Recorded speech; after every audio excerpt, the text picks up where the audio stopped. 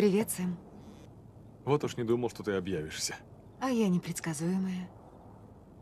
А хочешь знать, зачем я здесь на самом деле? Ради тебя. Ты не выходишь у меня из головы. Что?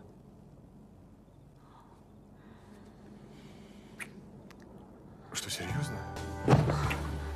Сэм, Сэм, Сэм!